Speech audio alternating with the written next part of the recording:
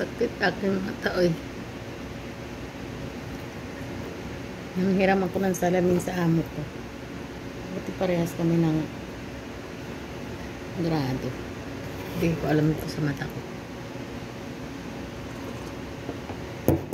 Problema nalalaglag sa ilong ko. Bakit, bakit ba? Dami-dami ng ano, ilong pa yung wala.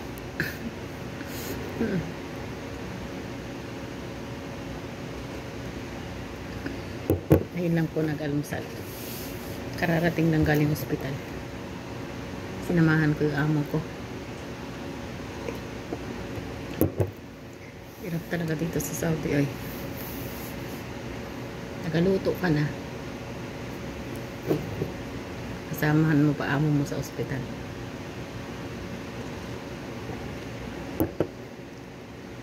Hirap maging OFW.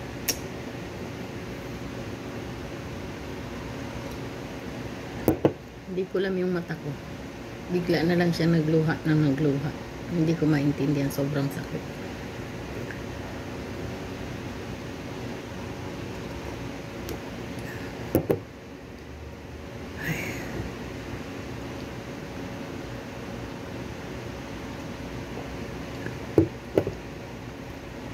Hindi muna tayo nanti bago magtrabaho.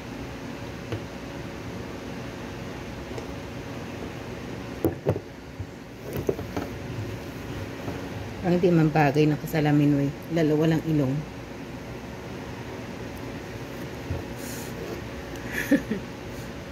Asa na kaya ilong? Wala talagang ilong. Sana lahat.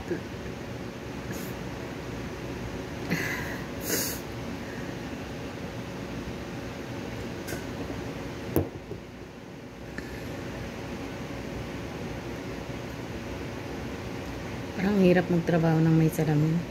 Parang sagaban. Pero dahil sa nagkakaedad na tayo, kailangan na talaga sigurong gumamit ng salamin araw-araw. Pero to hiniram ko lang to sa amo ko. Sabi ko di ako makatrabaho kasi masakit yung mata ko. Tingnan natin.